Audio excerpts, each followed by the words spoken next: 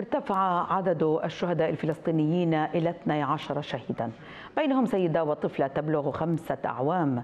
أصيب أيضا 85 آخرون. على الأقل في آخر حصيلة للعدوان الإسرائيلي والمتواصل على قطاع غزة. وتواصل قوات الاحتلال الإسرائيلي غاراتها على قطاع غزة لليوم الثاني على التوالي. في حين ترد المقاومة الفلسطينية عبر رشقات صاروخية على مستوطنات المحتلين. ارتفاع تدريجي للعدوان الإسرائيلي على قطاع غزة الذي شهد تطورا لافتا باستهداف منازل الفلسطينيين وتدميرها بشكل كلي بصواريخ الطائرة الحربية كما حدث مع عائلة شملاخ بحي الشيخ عجلين جنوبي غرب مدينة غزة أو استهداف منازل بشكل جزئي لتعود مشاهد الدمار والتشرد والمزيد من الشهداء والإصابات في صفوف الفلسطينيين. إحنا بيتنا إحنا 80 نفر مش راضيين يخشوا البيوت. مش ملاقيين مكان يناموا فيه الأطفال. يقولوا الليلة بننامش هنا الخوف في قلبهم خايفين يجي فجأة يقصفوهم. ما يقوم به الاحتلال الإسرائيلي هي جريمة متكاملة الأركان يخالف بها كل المواثيق والأعراف الدولية من خلال استهداف الأطفال والشقق السكنية والنساء وبالتالي لا خيارات أمامنا سوى الدفاع عن شعبنا الفلسطيني. وبين الفعل ورد الفعل. أعلنت الحكومة الإسرائيلية أن العملية العسكرية على قطاع غزة ستستمر أسبوعا وقد تطول أكثر إن لزم الأمر وهددت بتوسيع نطاق عملياتها. فصائل المقاومة الفلسطينية بدورها ردت على الغارات المتواصلة بقصف تل أبيب ومطار بن جريون وبئر السبع والمستوطنات المحاذية للقطاع بأكثر من 60 صاروخا. المشهد مفتوح على كل الاحتمالات طالما هناك قصف وطالما هناك عدوان المقاومة الفلسطينية ستتصدى المقاومة الفلسطينية ستوجه ضرباتها لكيان هذا الاحتلال لمعاقل هذا الاحتلال لتجمعات مستوطنين هذا الاحتلال ولن نسمح لهذا الاحتلال بفرض معادلة جديدة. وزارة الصحة الفلسطينية التي تعيش حالة طوارئ على مدار الساعة أعلنت عن ارتفاع أعداد الشهداء إلى 12 شهيدا وأكثر من 84 إصابة منذ بداية العدوان الإسرائيلي على قطاع غزة. يبدو واضحا أن دائرة العدوان الإسرائيلي تتوسع هنا في قطاع غزة لحظة بعد أخرى ما يستدعي تدخلا دوليا عاجلا لوقف الدم النازف. سعاد الإمام تلفزيون دولة الكويت من مستشفى الشفاء غزة. فلسطين؟ وتبقى معنا مراسلتنا في غزة سعاد الإمام لتطلعنا على آخر التطورات تطورات العدوان الإسرائيلي.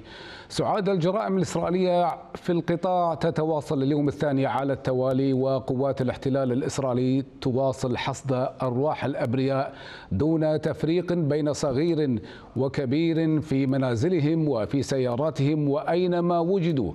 كيف هي الصورة الآن وما هي تطورات الوضع في الميدان سعاد؟ الميدان مشتعل. الغارات الإسرائيلية متواصلة وتستهدف المنازل بشكل جزئي وكلي وأيضا تستهدف الشقق السكنية والعمارات والسيارات. الوضع جدا مشحون. كنا في جولة ميدانية صباح هذا اليوم على المواقع التي تم استهدافها. سمعنا ورأينا بأعيننا ما خلفته هذه الصواريخ على منازل المواطنين. روايات الأمهات كانت قاسية جدا. منهم من فقد أبنائهم ومنهم من فقد منازلهم ومنهم من تشرد الآن. الوضع جدا صعب والجميع ينتظر الساعات المقبلة خاصة وأن التهديدات الإسرائيلية متصاعدة. ما يجري الآن هو عدوان جوي. هناك خوف من أن يتوسع هذا العدوان بعد التصريحات الإسرائيلية الأخيرة بأنه سيستمر لأكثر من أسبوع. ربما هناك هناك خوف من أن تتوسع الدائرة ويصبح أن هناك عدوان بري. ولكن التطور الأبرز أن محطة توليد الكهرباء الفلسطينية أعلنت عن توقف خدماتها لسكان قطاع غزة وأعلنت أن المنازل الفلسطينية ستستقبل فقط الكهرباء لمدة أربع ساعات فقط خلال ال 24 ساعة في اليوم. وذلك بسبب منع قوات الاحتلال من دخول السولار لتزويد تهديد المحطة الوحيدة والرئيسية لقطاع غزة. في هذه الأثناء أيضا وزارة الصحة الفلسطينية أنذرت من هذه الأخبار وأعلنت بأنها يعني تعلن حالة الاستنفار وتوجه مناشدات للمجتمع الدولي بضرورة العمل على إدخال السولار من أجل ضمان عمل المستشفيات التي هي بالأصل تعمل على المولدات الكهربائية.